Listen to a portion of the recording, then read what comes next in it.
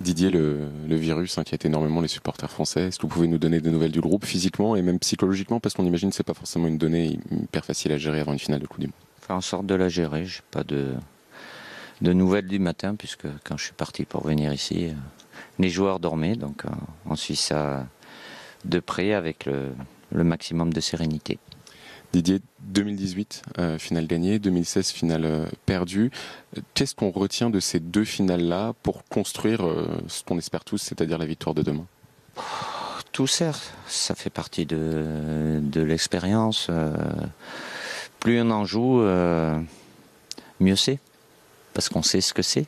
Il y a le match, bien évidemment, l'adversaire, mais aussi tout ce qui est le, le, contexte. Donc euh, ça permet de, mieux appréhender, même si euh, le fait d'en avoir joué euh, ne garantisse pas forcément un résultat positif. Après que dans l'ordre chronologique, 2016 nous est servi à 2018, probablement. Mais enfin, en 2016, on a laissé passer une opportunité de, de gagner un titre. Et au niveau international, avec l'équipe de France, quand il y en a un qui se présente, il faut faire en sorte de, de tout faire pour, pour l'obtenir.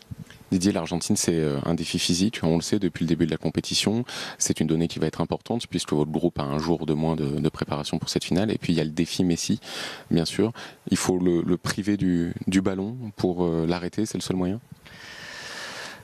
Cette équipe d'Argentine, oui, ce sont euh, des, euh, des, joueurs avec une, âme de combattant. Ils aiment ça. Ils adorent euh, être dans le, le défi physique. Ils ont toutes les aptitudes pour faire ça. Ils le font bien. C'est dans leur ADN. Mais ce sont de bons footballeurs. Il ne faut pas les réduire aussi à des, à des joueurs uniquement de, duel. Évidemment, ils ont un joueur euh, qui est capable de faire euh, d'énormes différences, ce qu'il a fait jusqu'à maintenant. Après, euh, avec un tel joueur, c'est faire en sorte de, de limiter sa zone d'influence.